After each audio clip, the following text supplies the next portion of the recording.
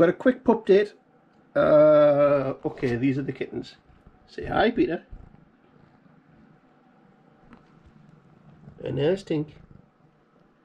Okay, on to the puppies.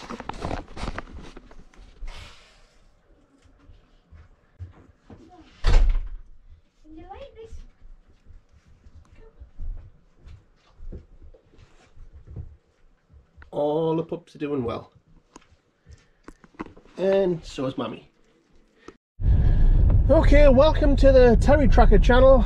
Uh, and for a change, the weather is rubbish.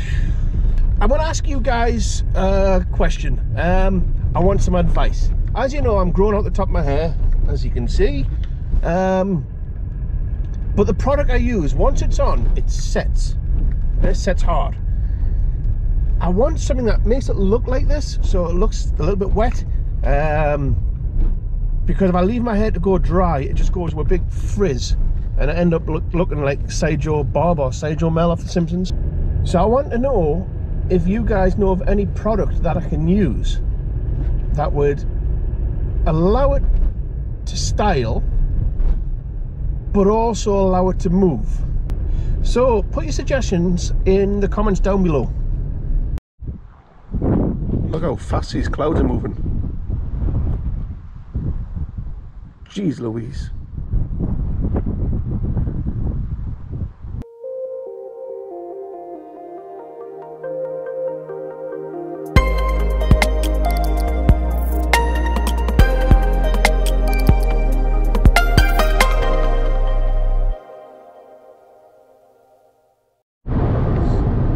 We're to Newcastle Airport to watch some aeroplanes land and take off, hopefully. Uh, the weather's windy, so hopefully we're going to see some rough landings and some rough takeoffs, depending on which runway they use. There's only one runway at Newcastle, but it's classed as two because there's runway 25 and runway 07, because one's at, uh, it's, it's the degrees that it's on, 250 degrees or 70 degrees. Um, so yeah, that's where we're heading now. Fingers crossed we get to see some decent takeoffs and landing. Um, Newcastle Airport's a fairly small airport, so and due to COVID, there's a lot of restrictions on the on how many flights is coming in and out.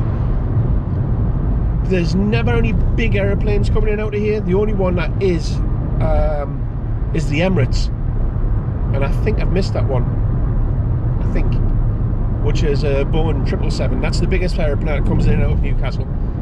But we'll see, we'll see what's there when we get there. Well, this is Newcastle Airport. Uh, and it's changed since the last time I was here. This fence, this secondary fence, has been erected since the last time I was here. So there's now two fences to look through. Um,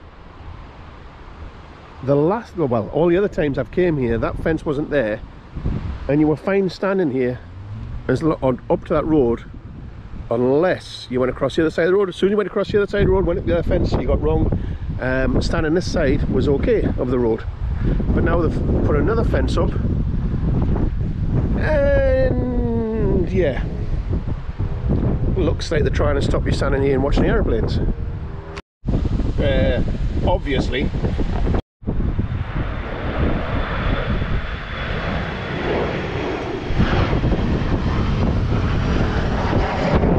Man, they're landing the opposite way to the best way for us. Um, they're coming in this way. There's one just about to come in over there. Uh, and obviously taking off this way. I like it when they land this way and take off. So starting there and going off. Many move positions. Typical. Not sure if you can see that on this camera without the zoom.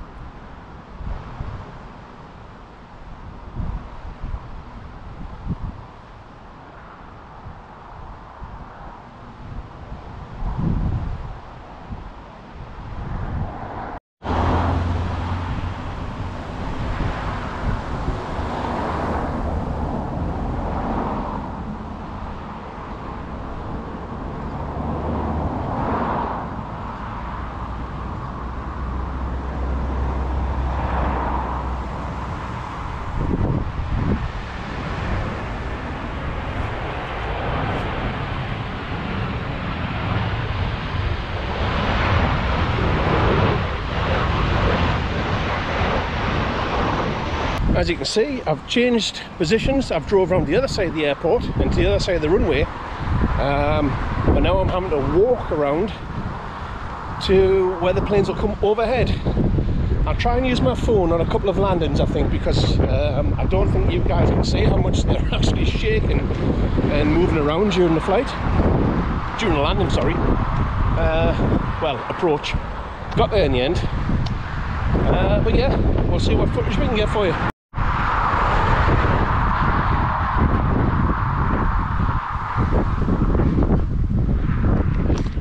Runway.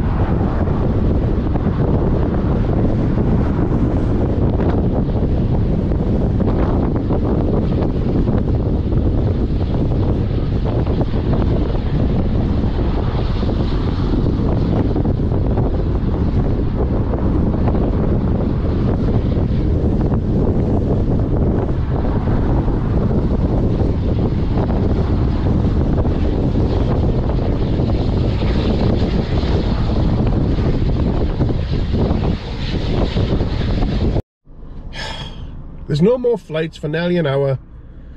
Uh, going home. That's it for today. Uh, we're going to film our second Swedish snacks, candy, all that good stuff. Uh, we're going to do the second one of that now. So I'll see you all tomorrow. Now it's time to do your job.